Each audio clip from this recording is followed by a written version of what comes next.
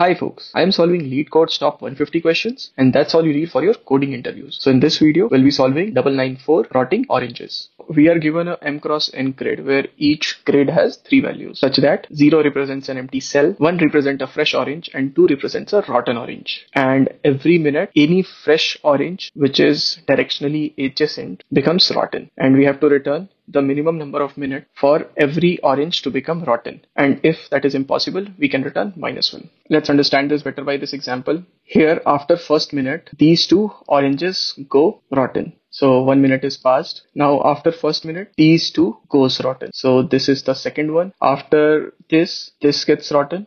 So this is the third one. And after four minute, this is also get rotten and that's what we are supposed to return. So now let's understand on how we can solve this. Let's take this example.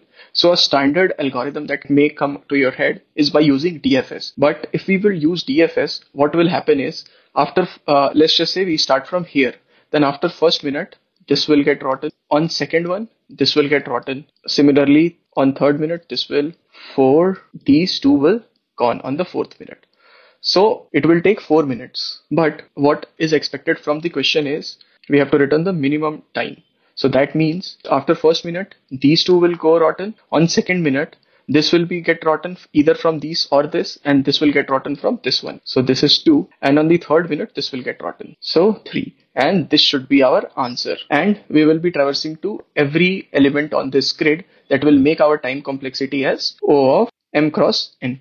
There is one more edge case where if, if it is impossible to turn every orange rotten, then we have to return minus one. For example, this one right here. So this orange will never turn rotten. It's not the adjacent to any of the oranges. So we are going to track the number of fresh oranges we have initially. And by the time our BFS ends, we can see if the count of oranges is not zero. That means there are some oranges which are not rotten. And in that case, we will return minus 1. So let's see how we can solve this.